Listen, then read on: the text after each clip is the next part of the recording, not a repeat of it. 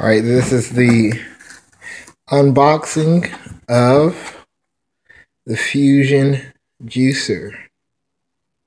Fusion Juicer.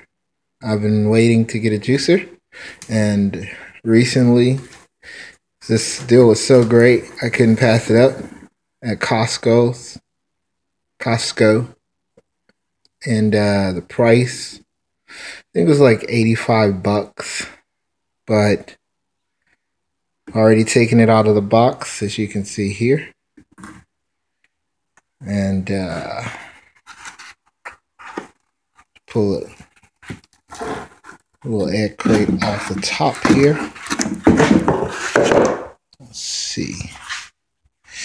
I'm excited about this man. Like I started juicing last year. It was really great results and my current roommate he uh, had a juicer.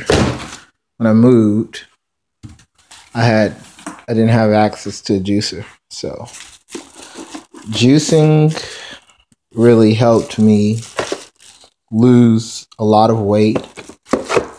This is the kind of like a plunger you push down the the veg the veggies or the fruit inside of the juicer with. And so like juicing helped me lose a lot of weight. Thing that I discovered, um, like, are you know, it's just part of the whole process of of losing weight and getting in shape and all kind of stuff was that a lot of the foods that we eat um, they don't contain the amount of nutrients that we need and because of that we're nutrient deficient you know, especially if we're used to eating out or eating fast food. This is the it's a little back part that um, catches all of the pulp of the juice. So this is what I would actually probably gonna put like a bag on the inside of it. Not this bag, but just as an example. I should put a bag on the inside of here, and this this will catch it would catch the pulp that comes out um, comes out of the juicer when I juice the veggies. But I'll find I'll find a little plastic bag for that. All right, so so that's that. Little plunger. Got the back part here. That actually does not go inside of there, but I'm just I'm just putting it there to hold it. Just move some of this stuff out of the way. And this is the actual juicer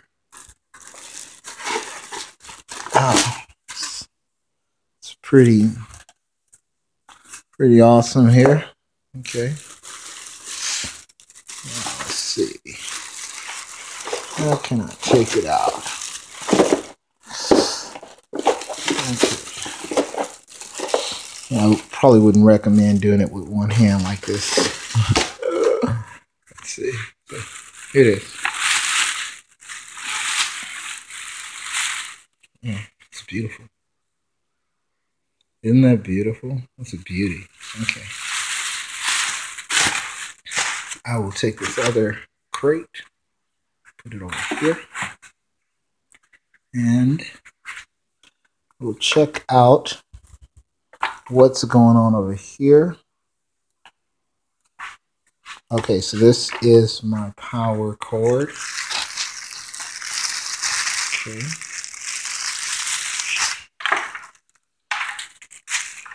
Yeah. This is it. That's my power cord. Excuse me.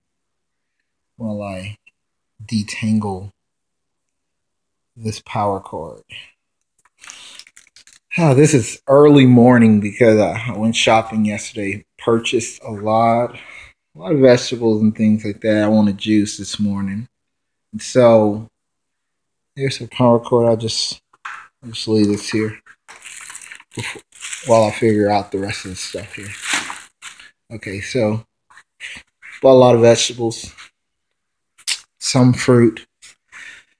Um, like my really ideal way to eat, my ideal diet most of the time, and I don't always, I don't always fully, uh, you know, eat this way.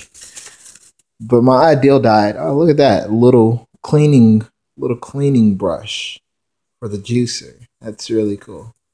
So my ideal weight or my ideal diet is is a ketogenic diet. It's a fat adapted diet.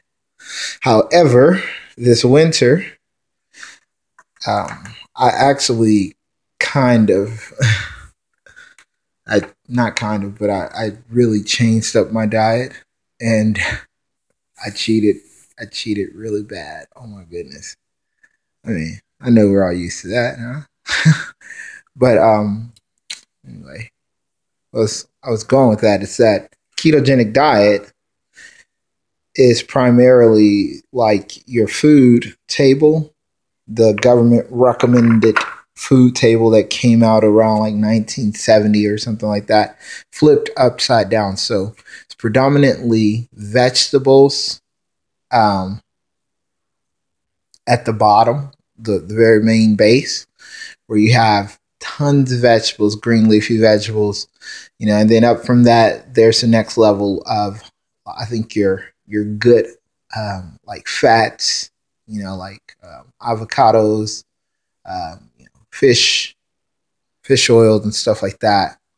Um, carbohydrates basically are way up there. So, so I've, I've been eating that way and uh, eating very little carbs, very little carbs, low carb, high fat diet for quite a while till I got into cheat mode this winter. But now we have our sunny California weather back, so I am ready to take off. take off before you, of course, yeah. So this is the area where you, ooh, where you know this is the area that grinds up the veggies and the fruits um, for your juice. And so this, I believe this comes off. I'm just trying to just trying to figure out how it comes off. Maybe I have to put down the camera for a moment to figure that out. Because I'm going to need to disassemble this juicer before I can clean it. So I'll disassemble the juicer and and then I'll, you know, clean it off and we'll see what happens. All right, I'm gonna stop the video.